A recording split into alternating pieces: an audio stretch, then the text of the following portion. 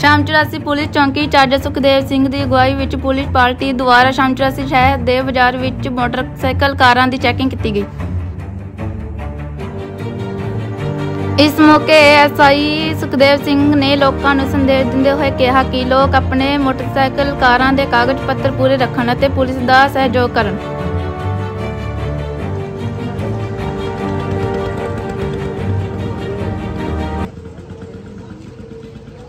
ਮਾੜੇ ਅਨਸਰਾਂ ਦੇ ਪ੍ਰਤੀ 6 ਤੋਂ 10 ਸਪੈਸ਼ਲ ਚੈਕਿੰਗ ਲੱਗੀ ਆ। ਕਿ ਭੀੜੇ ਬਾਜ਼ਾਰਾਂ ਦੇ ਵਿੱਚ ਕੋਈ ਮੋਟਰਸਾਈਕਲ ਚੱਕ ਹੁੰਦੇ ਨੇ ਹੋਰ ਬਾਜ਼ਾਰ ਵਿੱਚ ਤਾਂ ਕਰਕੇ ਚੈਕਿੰਗ ਸਪੈਸ਼ਲ ਕਰ ਰਹੇ ਆ।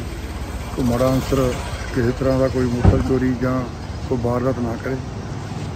ਇਹ ਤਾਂ ਕਰਕੇ ਕਰ। ਠੀਕ ਹੈ।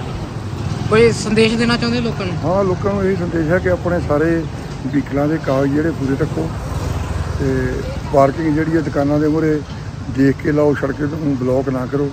ਲੋਕਾਂ ਦੇ ਲੰਘਣ ਆਉਣ ਜਾਣ ਦੀ ਕੋਈ ਰੁਕਾਵਟ ਨਾ ਪਵੇ। ਇਸ ਤਰੀਕੇ ਦੀ ਲੋਕ ਪਰੇਸ਼ਾਨ ਨਾ ਹੋਣ। ਠੀਕ ਹੈ ਜੀ।